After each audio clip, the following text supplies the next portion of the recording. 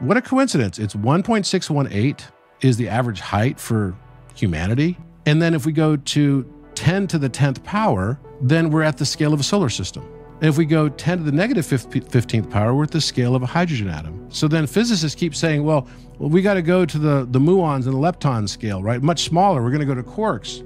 And every time they go to another layer, they find another three things proton, electron, neutron. We don't want to call it proton, electron, neutron because they have to give it a new name because someone else has to get a naming right to it. So then you just keep going further and further down. And actually, it would just be the same thing to go clustering up.